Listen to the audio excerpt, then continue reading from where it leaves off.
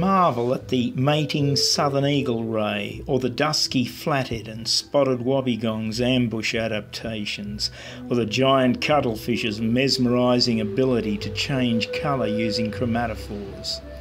Yes, fish schooling is a behavioural adaptation to enhance survival, and many species use it, as these yellowtail scad will demonstrate.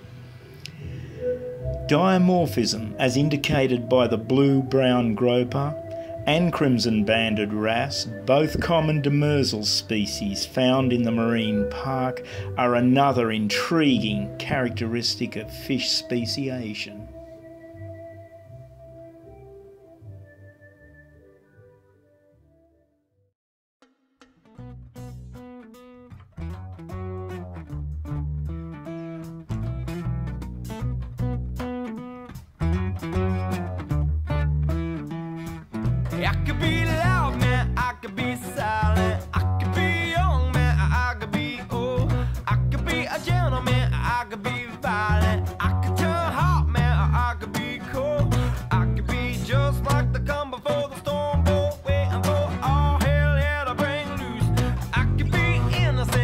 Could be guilty.